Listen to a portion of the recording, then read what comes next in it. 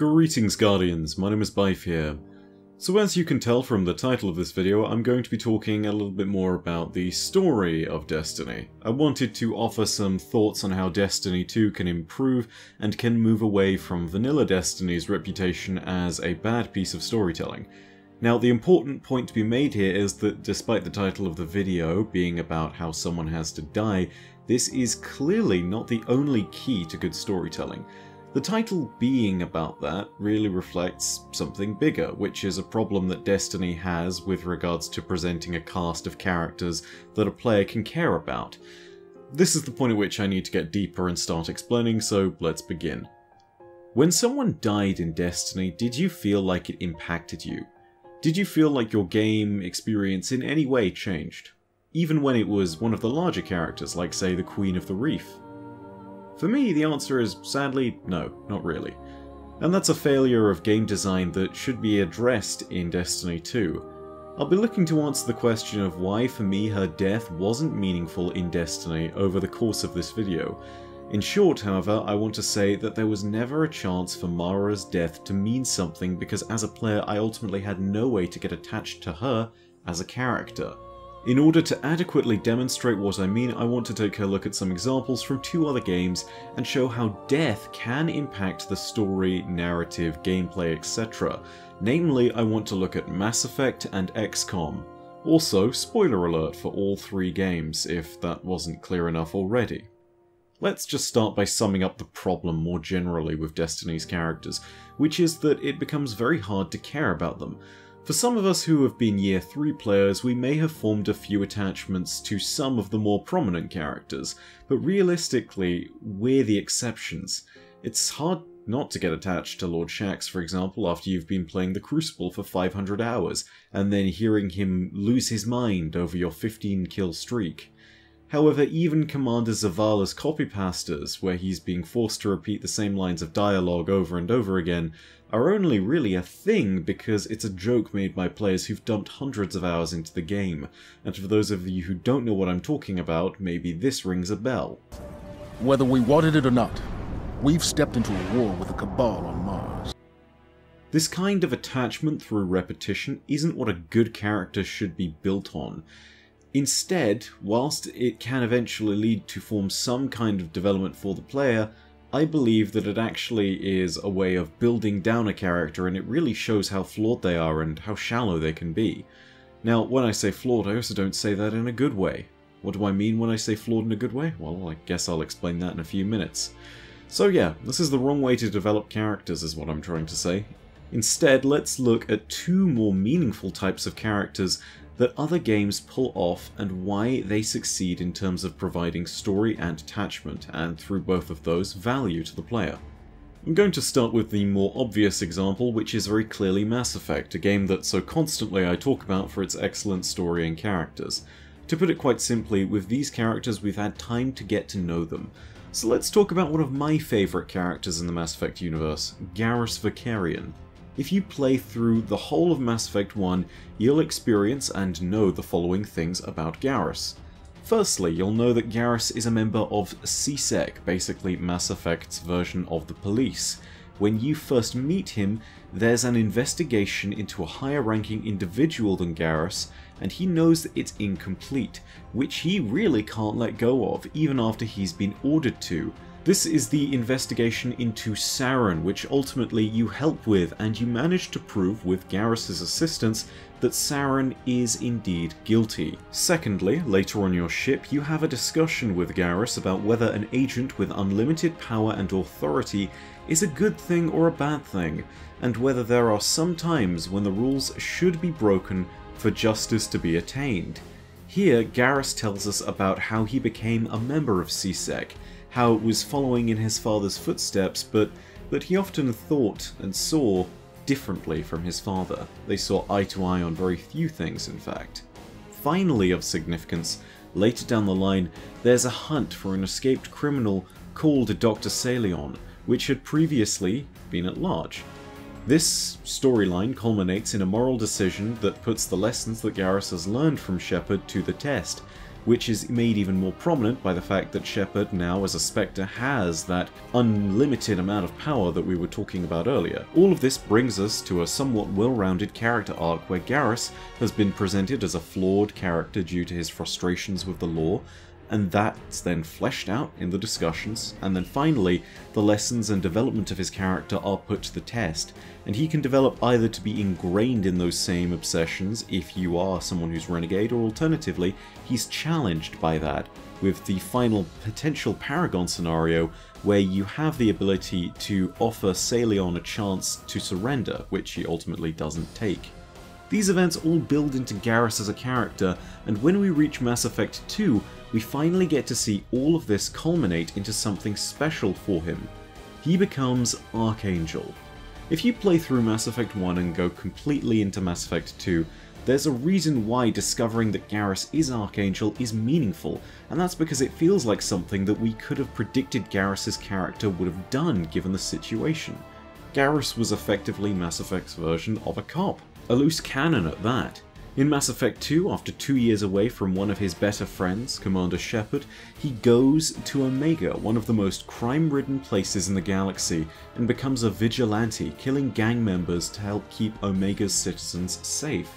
This is the point in the story that has a whole lot more meaning, because it's completely within the bounds of possibility for the character that we knew in Mass Effect 1, it's almost something where we could sit back and say, that's a really Garrus thing to do. This is all important, of course, because now we're familiarized with Garrus, we've become attached to the real personality in the sense. How have we had this happen? By playing through the first game and seeing the real struggles and morality and limitations of the law that Garrus experiences. Following this, Garrus is nearly killed, which prompted for me as a player one of the more stressful moments of all. The prospect of losing a character that could clearly be considered a friend was an awful one.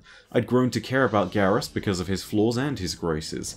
For every time he stopped to do something on behalf of what was just, there was another point at which he grew frustrated with it and would become disillusioned. Regardless of those moments, I still cared because there was the moments where he felt like a character that, although flawed, could still be identified with. The loss of the presence of a character like that in the game would have made it a less colourful place, and that was something that I feared. Now at the end of Mass Effect 2, there's a chance, depending on your game choices, that Garrus can actually die instead of just nearly dying. If this does happen, then in Mass Effect 3 following up, at all the points which would have been key missions for him as a character, instead we hear from our squadmates about what Garrus would have been doing in that current moment of crisis. It's something that really sells the hole that's left behind by his passing. There's a real sense that the player has missed out on something. The moments and the void left by Garrus's, well, death have quite frankly become a real part of the gameplay experience. Be it the moments of banter between the two of you as you go on a mission, or the quieter points at which you're discussing the costs of the war, whatever you've missed out on, it feels meaningful that you've missed out on it. This is what I call attachment through personalities. It's when character development has really succeeded and we know a character that much better, thus allowing us to form an attachment. Their loss is painful because we see everything they represented, graces and flaws alike, removed from our gameplay experience. The death of such a character in-game has consequences for that player's experience. Negative ones, but ones that do impact in a certain way that show us that a good story has been told, and there is one still at play even after the character has passed on. Now here's the thing, I thought for the longest time that this was the only way that you could get attached to a character, and have it be meaningful, but I was really wrong, and that was something that was taught to me by XCOM. So, XCOM is a game about aliens invading Earth, the war that ensues and the real costs of that war. For those of you who do not know, XCOM is a brutal game, not in terms of its art or presentation, but because of the narrative and gameplay. In XCOM, you've got moments where you're choosing between a rock and a hard place, where you have to choose to metaphorically cut off your arm to save the rest of yourself. Nowhere is this better displayed than in the combat of the game, where you have to take risks that can determine whether your soldiers live or die. Now here's the thing, Your soldiers living or dying is a point of real stress for a player. Death in XCOM is a permanent thing, there's no way of retrieving that particular person if they die. But what's more interesting is that your soldiers, as far as character development is concerned, are even more bare bones than Destiny's. In Destiny, you have the context of your Guardian being resurrected, and you get some more nebulous story about the light versus the dark, but in all that, you at least feel like you can claim the titles that you've earned and you're narratively speaking an important character. For example, when you're told that you're the first of a new generation of Iron Lords, you can say why that might actually mean something, and you can kind of understand the terms that the game is throwing at you, even within the game's own weird fiction. XCOM's soldiers, on the other hand, are basically just grunts from different nations, admittedly with some character customization, but all with almost no backstory. However, when they're in the mission, any player that knows what they're doing will seriously care if one of their soldiers dies. There is a real level of attachment there, and this attachment is clearly not born through the narrative, but instead is created by how integral these soldiers are to the gameplay experience of XCOM. Without soldiers you can't complete missions, which means that you get no resources and means that the aliens will eventually win. Sometimes the fate of your entire playthrough, which you may well have sunk countless hours into, will depend on whether a single soldier hits or misses their shot. If the shot hits, it could potentially end the mission, therefore bringing back soldiers with far fewer casualties. If it misses, you could lose members of your squad, making XCOM more brittle and ultimately meaning you can't respond to emergencies. In this way you can see the very real gameplay consequences of death not just the narrative ones. Death has meaning here too. This attachment to character through gameplay is still a show of great game design because the player has been made to invest in an element of the game and has actively derived value from it. Both of these forms of attachment to characters show how those characters matter, but most crucially of all, the attachment is so well shown off, so well encapsulated when the character is removed from the player's experience. In a sense, the idea of someone needing to die in Destiny 2 is something I mention as one of a few possible tests for the narrative.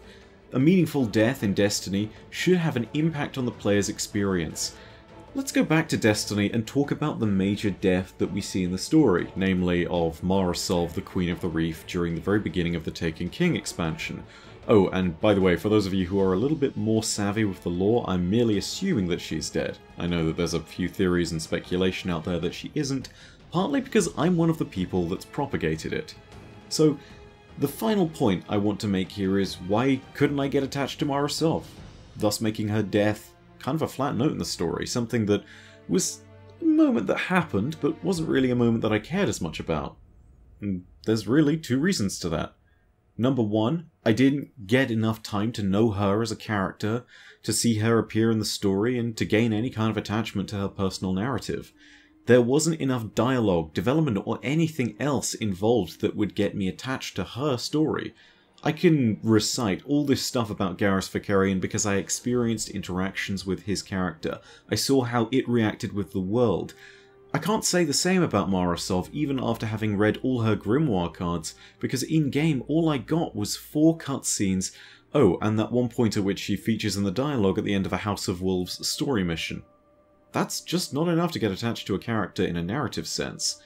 But what about the other kind of sense?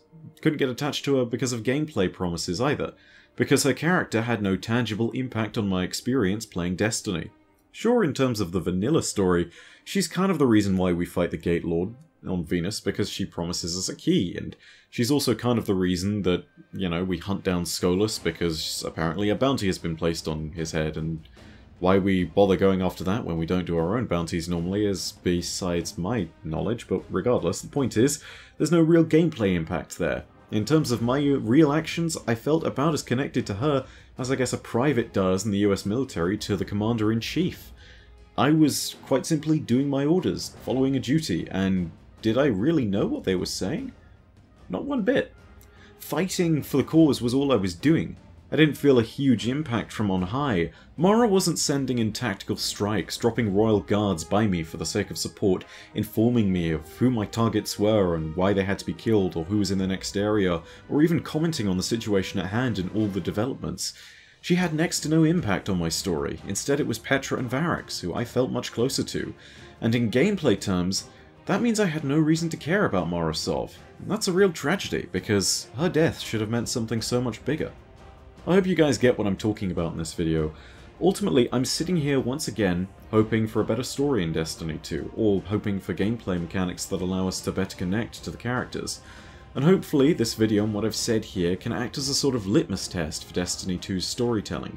If Bungie kills a character that we've gotten to know in Destiny 2, and if that death feels meaningful to us, then they've succeeded to provide value, either from the point of view of the story dialogue, or alternatively, from the point of view of great gameplay mechanics that involve characters. There's a whole bunch of other stuff I need to talk about on that second front, things such as NPCs being in-game, your own character's ability to talk, but that's stuff I really do need to save for another video. But as far as death having meaning in Destiny 2, I feel like it's a great idea simply because of the fact that it acts as that litmus test. It tells us whether or not Destiny 2 has succeeded in giving us characters that we can care about. And that's really important considering that the first game really did not manage to do that. But anyway guys, thank you very much for watching. If you enjoyed this video, leaving a like on it would be greatly appreciated, and of course, if you want to go ahead and tell me your own thoughts, whether you cared about the Queen's death, or whether you thought there's some other way that Bungie should improve their story in Destiny 2, you can leave that comment in the comments section down below. You can also subscribe to this channel if you want to go ahead and get more Destiny videos. And also, if you want to never miss a video, you can hit the bell next to subscribe, which is the notifications button, and you will get email notifications whenever I publish a video. But if you do none of that, your viewership is quite enough for me. In the meantime though guys, thank you very much for watching. My name has been, my name is Byf. Per audacia ad Astra. I'll see you, Starside.